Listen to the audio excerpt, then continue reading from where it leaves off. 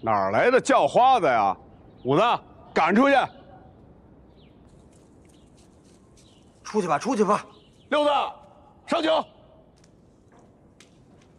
打住，兄弟。依我看呐，今儿的这酒，您还是先省了吧。你个老梆子！哎，五子，赶紧的，赶出去！给我出去！行啊，你们什么玩意儿啊？你们全北平大大小小两百多家酱菜园子，蒙事糊弄人的不少，可我没想到沁芳居也这么回事啊！啊！可惜了老祖宗传下来的两千多年的手艺，全让你们给糟践了。可惜了你们这百年老店，最后都毁在你们这帮不争气的玩意儿身上。老梆子，你活作孽呢？你们滚！这位先生，您请留步。灭了灶上的火，封了洗脚的酒，您再跟我理论也不迟。黑子，哎，灭火封坛。老爷。老少爷们们起五更睡半夜的，忙活小半天了，没听见我说话吗？灭火封坛，灭火封坛。要想做出好酱菜，先得制出好酱，是这理儿吧？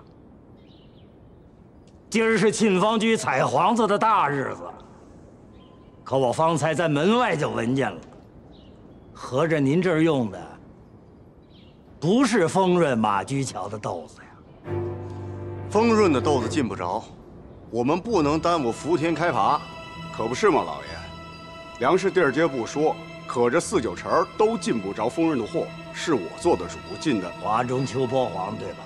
嘿，你这老梆子，你就瞎蒙蒙对了。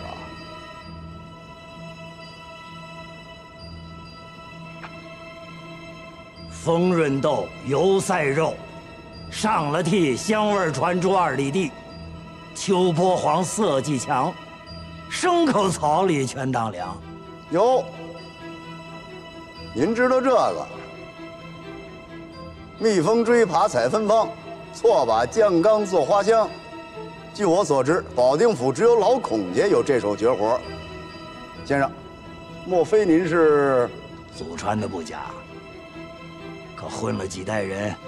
还只是个干糙活的酱菜把式，别人孔繁喜，人称孔老师。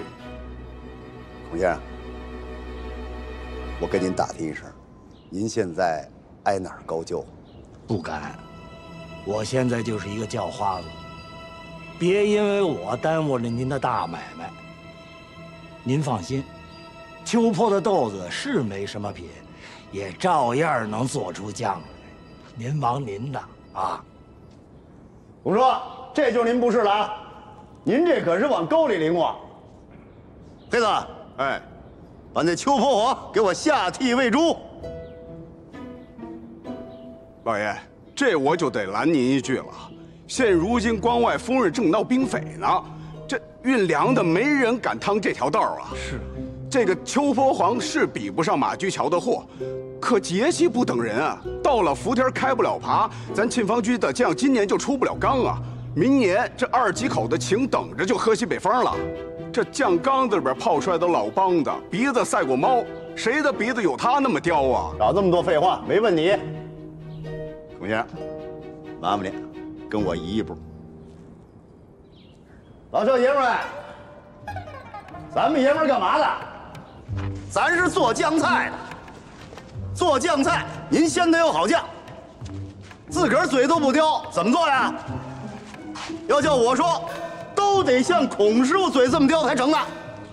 沁芳居百年老店，靠的就是这刁字儿。衣食父母那是主顾，你得罪了主顾，自个儿撅着眼子白干不说，砸的是招牌，丢的是脸面。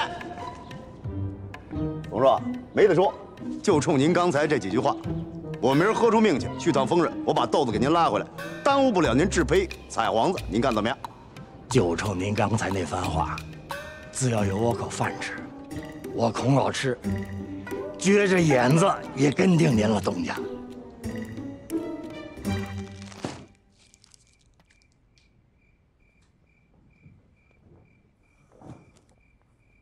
哟，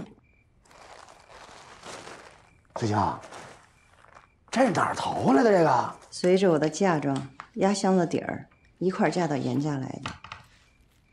前清家的汉阳造，我爷爷当年为了防贼置办下的。我们家不就生了我一个吗？就把它传给我了。之前也没用上，就没跟你说过。